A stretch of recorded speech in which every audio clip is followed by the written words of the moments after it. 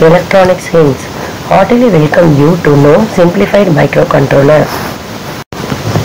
Thank you for watching this video. Please like, share and subscribe to this YouTube channel. Receive more electronics information. Kindly suggest your valuable feedback to improve the forthcoming videos. Thank you. What does the microcontroller require?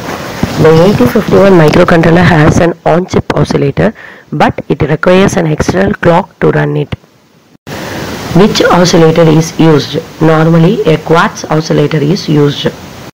What is the normal frequency? The normal frequency is 12 megahertz. What is the exact frequency? The exact frequency is 11.059 megahertz. Why is the quartz oscillator used? The quartz oscillator is used because it has high stability and large Q. What is mean by polling? Polling is a process which identifies the device that has interrupted the microcontroller. What are the signals used by the microcontroller? The signals used by the microcontroller are data signal, address signal, control signal, status signal, clock signal, power signal, external initiator signal and IO port signal and etc. What is called bit addressable? In microcontroller registers where data is stored, if one could manipulate its content bit by bit, it's called a bit addressable.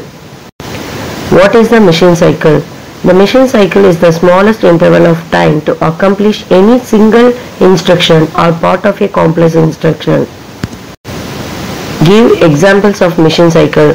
The examples of machine cycle are the external program memory fetch cycle, external data memory read cycle, external data memory write cycle, port operation cycle and etc. What is the instruction cycle? The instruction cycle is defined as the time required for the controller to complete the execution of an instruction. What is the main difference between the microprocessor and the microcontroller? The microprocessor is a chip and the microcontroller is a system. What are special function registers? The special function registers are memories. What is the use of special function registers? The special function registers control or monitor the various functions of a microcontroller. What is the work of the microcontroller? The work of the microcontroller is fetch, decode and executed the instruction. What is the microcontroller?